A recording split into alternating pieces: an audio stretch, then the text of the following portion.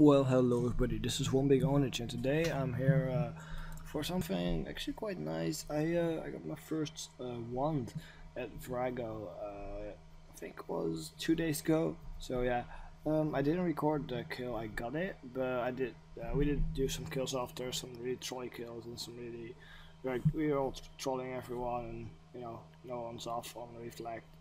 You know how it goes. So you know it was kind of uh, kind of a lot of fun. So yeah.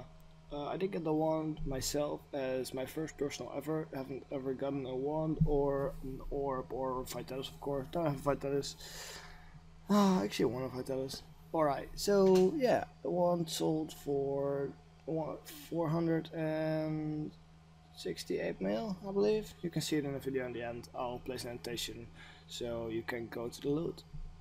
Uh, well, that's about it actually. I uh, in the background I have a clip for, of us all trolling each other. Uh, yeah, that's the clip. In the end, there will be the uh, the loot video. Uh, there's only music from now on, so yeah. Thank you very much for watching. Have a nice day, and bye.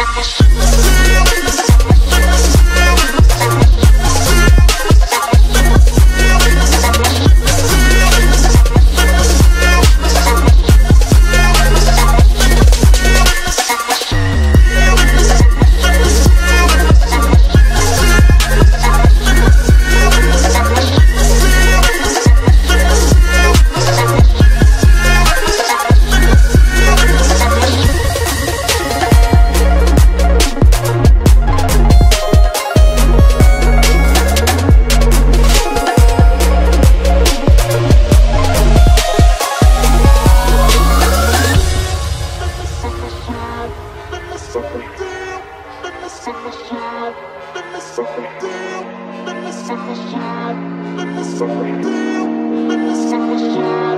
me